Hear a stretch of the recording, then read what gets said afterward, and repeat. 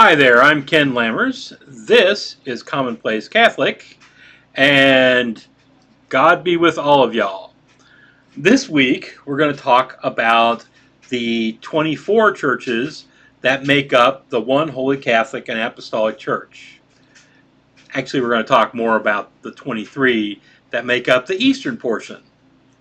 So, let's get to it. Lord Jesus Christ.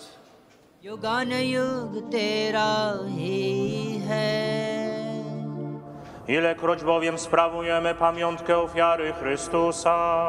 Kweli ni na haki tukushukuru daima na popote, Bwana Baba mwema.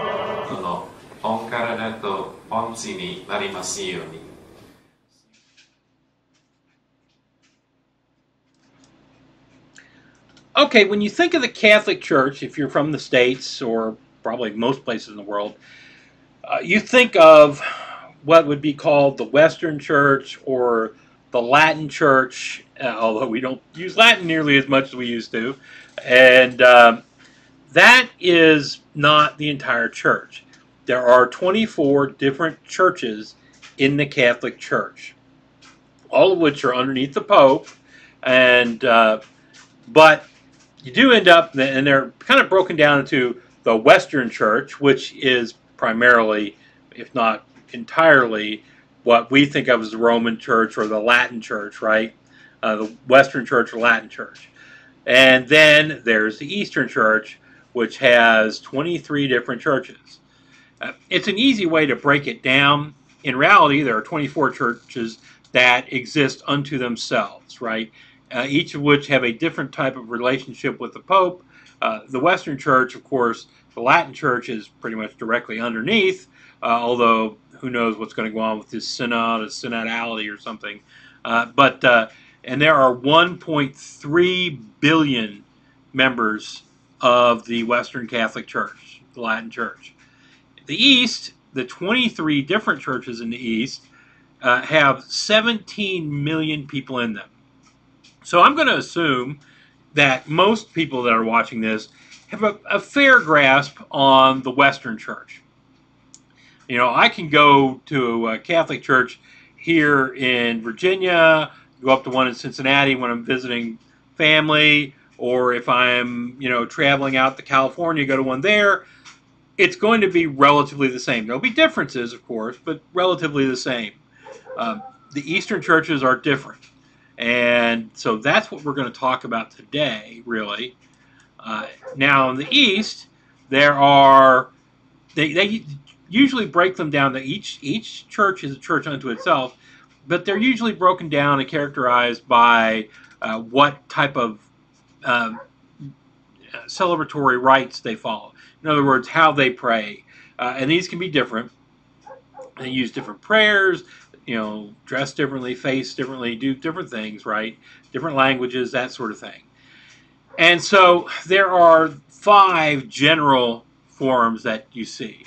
One is the Byzantine, and that has 14 churches in it, and that, that form of worship has 14 churches that follow it, and there are 7.3 million people in that.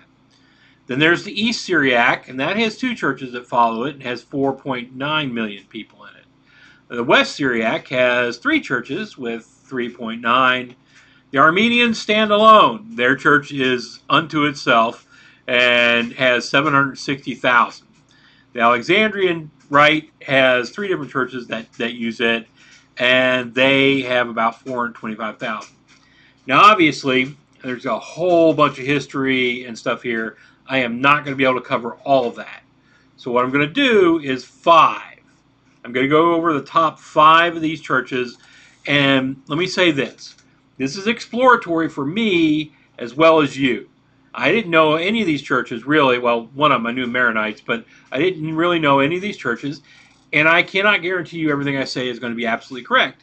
If you know that something I'm saying is wrong, put it in the comments. But I ask that you please put something that will direct me somewhere where I can read the proper you know, information. Uh, and other people here can read the proper information. Yelling at me for my ignorance doesn't help me or anyone else, but telling us where we can go to alleviate ourselves, alleviate ourselves of this ignorance is, is kind of a blessing. So I ask that you do that if you're going to tell me that I'm wrong on something.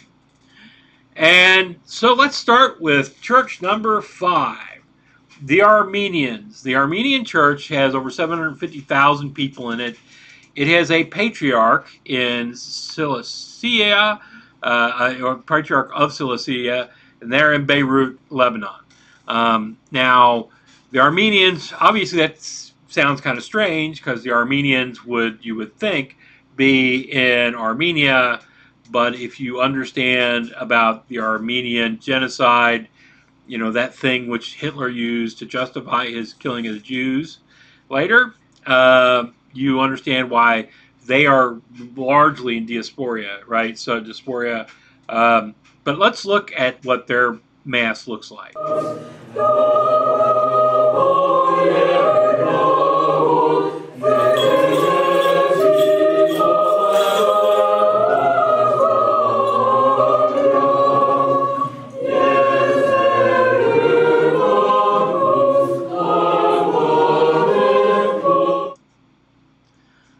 Okay, so you know you'll see that they're facing the facing the altar, facing God.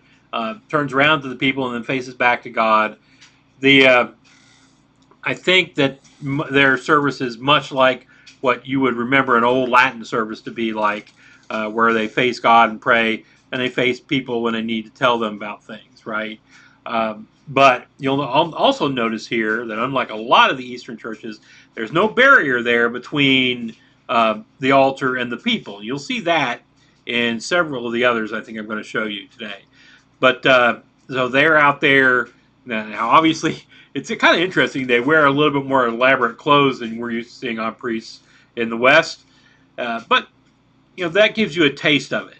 Now, the Armenians, uh, I guess, were kind of out there, and when the Crusades came along, they agreed that they fell under the Pope, right? And then in 1439, with the Council of Florence, they were brought in with the other Orthodox. That was kind of the point of the Council of Florence, as I understand it, was to try to bring in uh, the those Catholics that lent, lent towards uh, Orthodoxy, uh, bring them into the church and, and their you know, patriarchs and that in. Um, but it wasn't really until 1742 uh, when they were really established in the church and really there was attempts that made to fold them in seriously. And that was under pope benedict xiv so that's kind of the armenian history. Um, and you know i go look. You can find more i'm sure. I'm absolutely sure you can find a lot more. So let's move on to number four. That's the melkite greeks. Uh, they have over 1.5 million melkite greeks they are under a patriarch in Damascus, Syria. Just for your information, a patriarch heads a church, um, you know, and he answers to the Pope, but he's mostly independent in running a church, right? At least that's my understanding of it.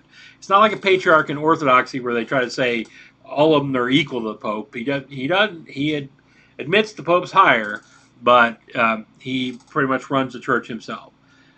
Their headquarters, I, I said, in Damascus, Syria, and they follow the Byzantine Rite. And let me show you a little bit of their map.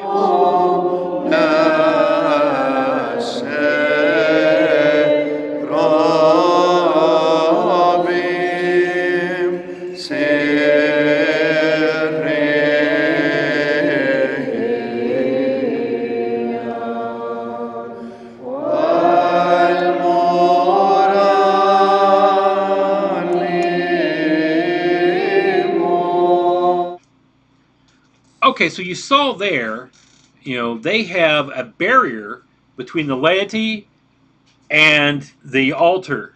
The priest stands, he's standing in the door with his back towards the door, but he's facing the altar. The other priest is next to him, and the altar boy, although that guy was a little bit old to be an altar boy, uh, is in there as well. They are doing the holy rites and everything in there. So that's where they are. That's a Byzantine rite thing. That's the way they do it. Um, I will also point out to you that notice that they make the sign of the cross opposite of what a uh, Western Catholic does. So, for instance, Western Catholic does it. The old saying, I know this is a little crude, but it's, you know, spectacles, testicles, watch, wallet.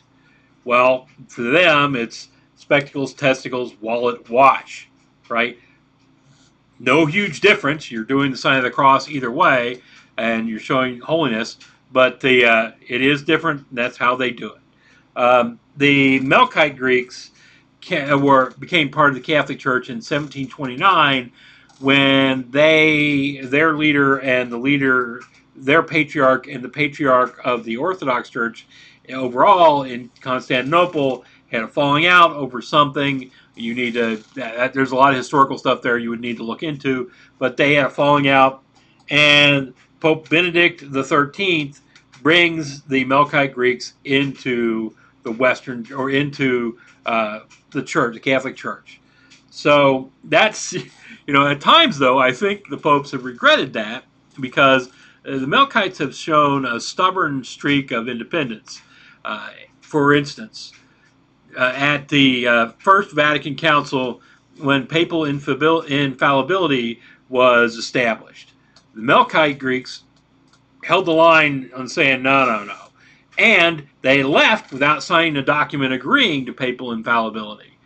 Okay, so the Pope sends people, uh, sends an envoy out saying, "Look, you got to sign this. This is the church's way stance. You got to sign it. And so the patriarch of the Melkite church signs it, but what he says, he adds on to it when he agrees papal infallibility, accept the rights and privileges of the Eastern patriarchs. And that was something from the Council of Florence, and he held to it. And apparently, this very, very much uh, upset the Pope. There's some stories which historians tend to think are not true about the Pope really abusing the patriarch after that. But uh, you know, they that's you know they have they are independent, right? They may, they're under the Pope, but there is a degree of independence there they're willing to fight for. Since Vatican II, unlike most of us in the Western uh, Church who uh, had to go through a very liberalizing thing, which is still in process and being fought through. Um, they went the other direction. They went more uh, went more uh, Byzantine and moved away from the Latin influences, the Western influences in their church. Uh, for instance, uh, one thing I've seen a couple places talking about this, um, the in the Roman in the Western Church, that nobody receives communion until they reach the age of reason. Doesn't mean you have to be super intelligent or anything generally held to be about the third grade or so, right? Well, in the United States, third grade. Um, but in the Byzantine Church, they, and after Vatican II, they've gone back to this. What they do is when they baptize the child at, you know, as soon as they can after birth, two weeks or so, uh, and, you know, to wipe away original sin, they then give him a little tiny communion wafer in there too he has been both baptized and had his first communion right there. Boom. Uh, so that is a Byzantine rite, the way they do it, and they've gone back to that. They've moved, like like I say, more back to the Byzantine rite than anything that's been influenced from the West. Um, so again, establishing more of an independent way. So let's talk about the third biggest church. That's the Maronites approximately 3.5 million Maronites in the world. They exist under a patriarch in Bakirke, Lebanon, or maybe Bakirk, I don't know. And when I see words that are obviously Arabic in English, I never really know how to pronounce them. But it's in Bakirke, uh, Lebanon. Uh, they follow the West Syriac rite. I see a lot of things saying that, and I see things where you check more closely that say they follow the Antiochene rite, um, and I think the Antiochene may be a subset of the West Syriac. I'm not sure. I got a little bit of ignorance here, uh, but uh, that's where they what they do. And let me show you a bit of their man.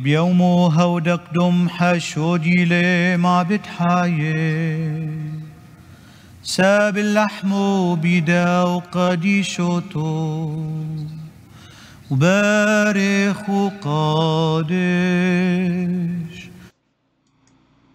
So that's their mass. You'll notice that the priest is facing the people as he does the consecration of the Eucharist, uh, just like happens in the Western churches nowadays that we've left the Latin Mass behind.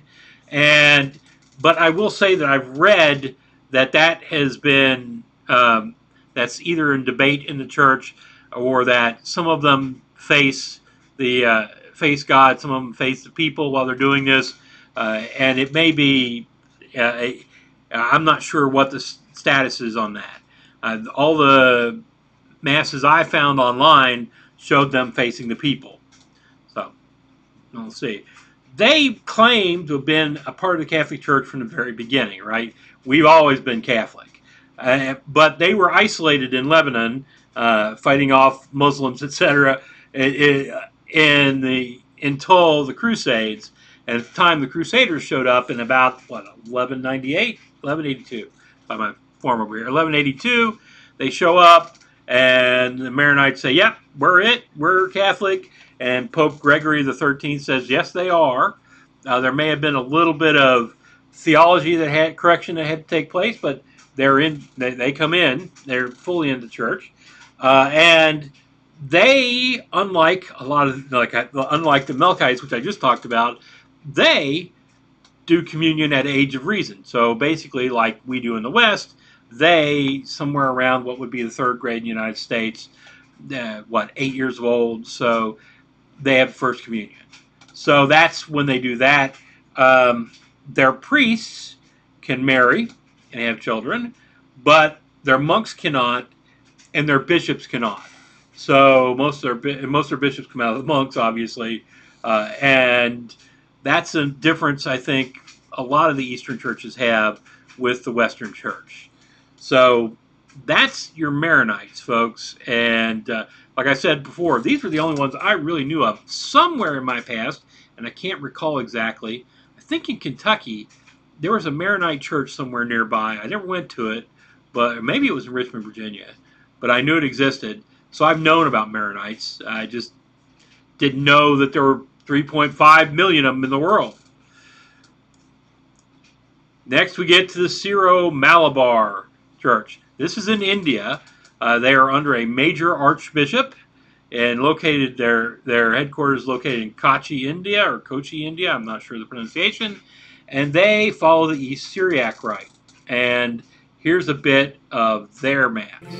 നിരന്തരം അങ്ങേ സ്തുതിക്കുവാനും മഹത്വപ്പെടുത്തുവാനും ഞങ്ങൾ യോഗ്യരാകട്ടെ എന്തുകൊണ്ടെന്നാൽ അങ്ങെല്ലാറ്റിന്റെയും സൃഷ്ടാവാകുന്നു സകലത്തിന്റെയും നാഥ എന്നേക്കും.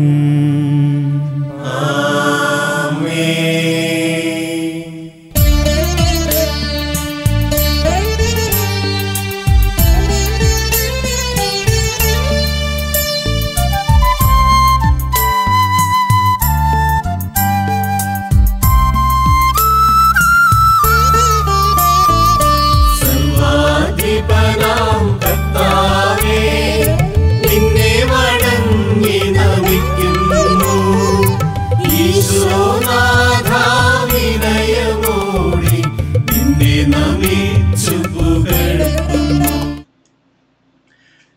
so that's their mess. um, and I'm sure there's a little, there was a little bit of cinematic flair being put on there. I mean, the flowing curtains as the priest is standing there praying, and then he turns, you know, he turns and they go, they open up, and wow, it's really beautiful.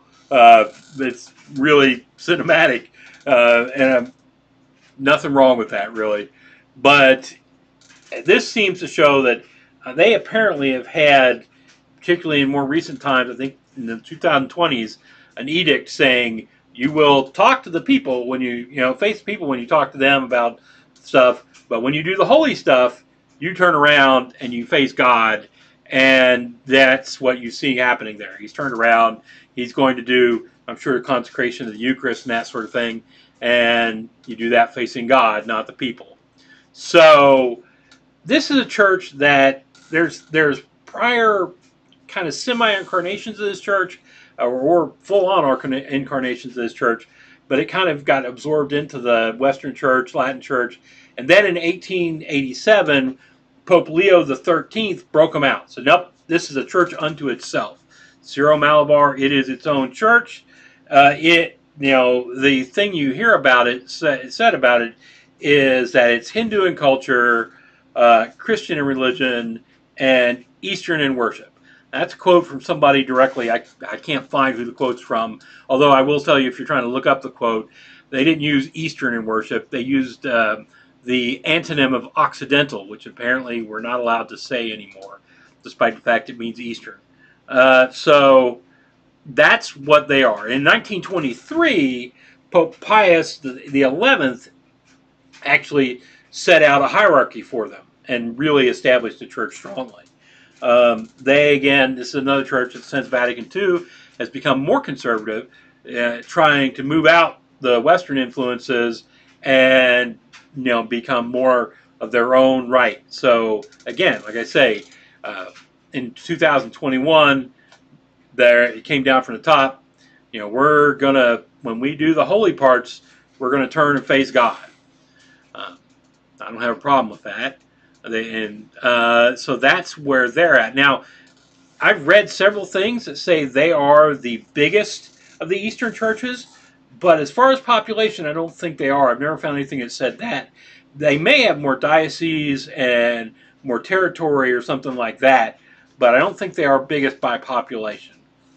And the biggest by population there is the Ukrainian Greek Catholic Church. The Ukrainian Greek Catholic Church has a major archbishop on top of it. Although they want him to be a patriarch, I think internally they may call him a patriarch, but he's not recognized as a patriarch by the Pope, by Rome. He is a major archbishop. They are located in Kiev, Ukraine, and they follow a Byzantine rite. Okay, so let's look at that. Святого Євангелія читання.